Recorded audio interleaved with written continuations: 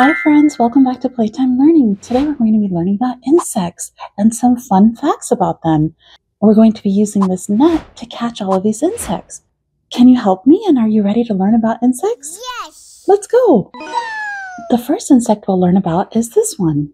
Let's pick it up. We caught it with the net. This is a grasshopper. A grasshopper. Did you know that grasshoppers have ears on their belly? Isn't that so interesting? Let's go to the next insect. The next insect is a moth. A moth. We caught it with a net. Moths are nocturnal. Nocturnal means that they're awake at night. We're not awake at night. We sleep during the night, so we're not nocturnal. Okay, let's learn about the next insect. How about this one? This is a spider. A spider. Did you know all spiders make silk? Silk is what the spider webs are made of. Have you seen a spider web before? They're pretty neat. Hmm, what's this bug? This bug is a firefly. A firefly. Fireflies are a type of beetle and they make a really cool light. And each type of firefly has a different flashing pattern. That's how they communicate with each other.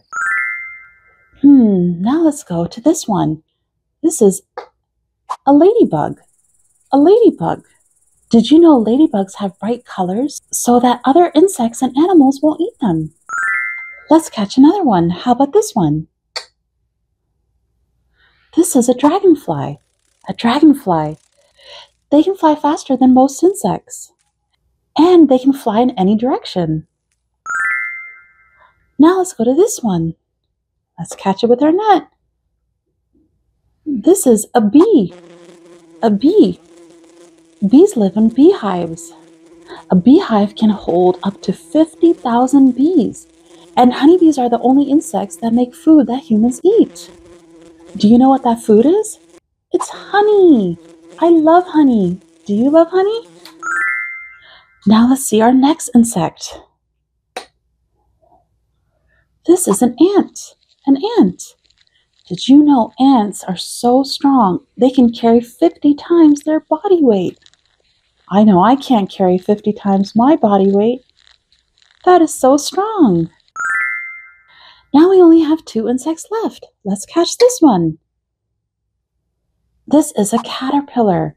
Caterpillars become butterflies. Did you know that caterpillars can become a thousand times their weight? All they do is eat all day and they have 12 eyes. That's pretty neat. And our last insect is this one. It's a butterfly. Butterflies have so many shapes and designs and beautiful colors. A funny thing about butterflies is that they taste with their feet. Can you imagine if humans tasted with their feet? That's so silly.